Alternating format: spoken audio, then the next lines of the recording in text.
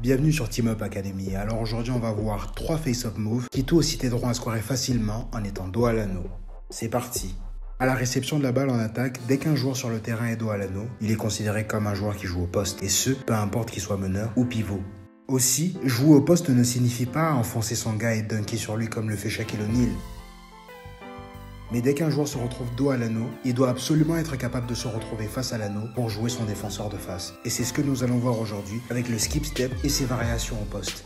Au départ de l'exercice, tu te places sur la ligne perpendiculaire à la ligne des lancers francs. Tu vas poser un dribble le plus fort possible en dessous de ta ceinture, qui sera suivi d'un bond de 45 degrés en direction de l'anneau, qui te place face à ton défenseur. La jambe qui était la plus près de ton défenseur se retrouve en arrière et c'est cette jambe qui va te permettre d'avoir l'appui et l'élan nécessaire pour commencer ton mouvement.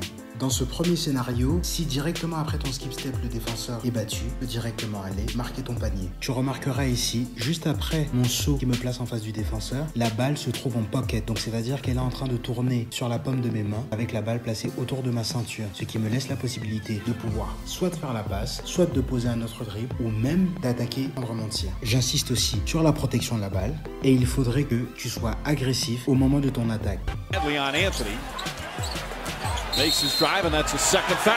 Running hook est un mouvement que tu vas utiliser lorsque pour une raison ou pour une autre, la raquette est déjà saturée. Ça va te permettre de pouvoir commencer ton double pas, mais pas en direction de l'anneau. Donc dans mon exercice, directement après mon skip step, je vais poser un dribble de plus et commencer mon double pas pour finir sur un hook shot.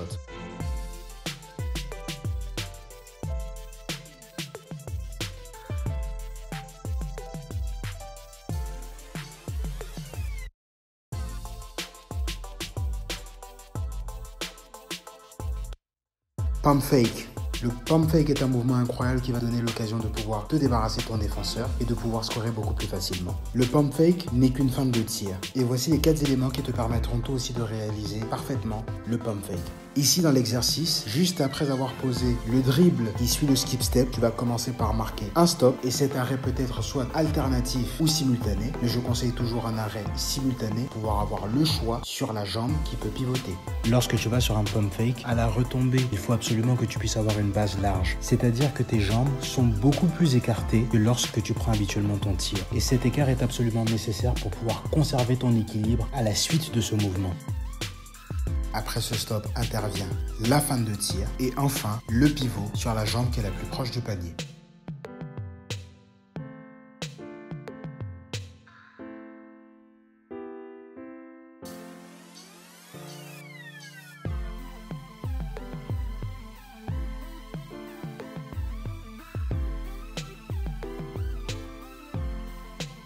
Et petite astuce personnelle, en plus du mouvement de la balle, la fin de tir, tu pourrais aussi utiliser tes yeux qui devraient être en direction du panier de basket.